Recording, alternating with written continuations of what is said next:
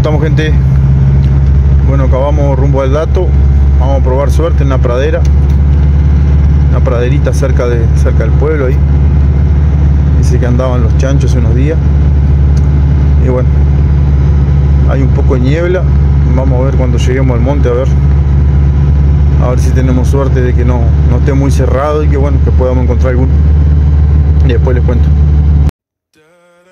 Bueno, llegamos al lugar había bastante niebla, no se veía nada. Este, después empezó a levantar un vientito y, bueno, disipó la, niebla, empezó a disipar la niebla. Este, y hasta que logramos, logramos ver un chancho. Bueno, ya anda el padrillo. Vamos a ver a ver cómo le buscamos la vuelta al viento. El viento está a favor de él. Vamos a ver, a ver. Tenemos que zafar lo bañado allá abajo. Hay que buscarle la vuelta.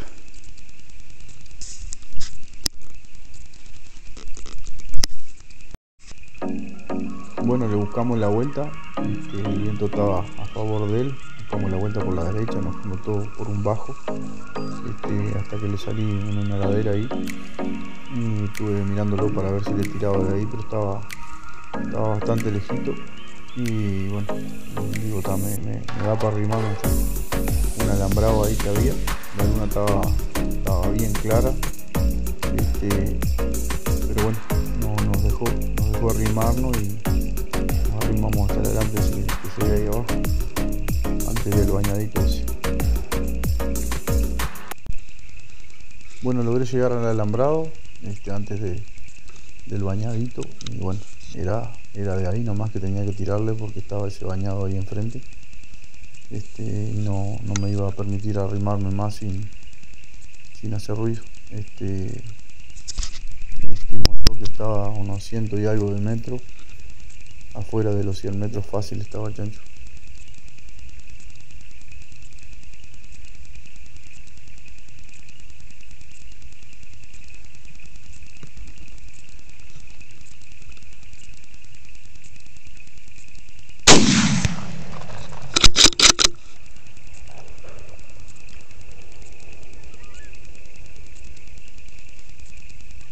Bueno gente, espero que les haya gustado el video.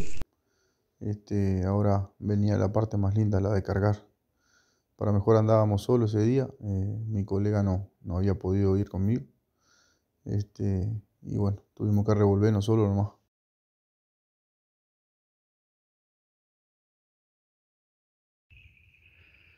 Bueno, acá venimos cargando el tuturano.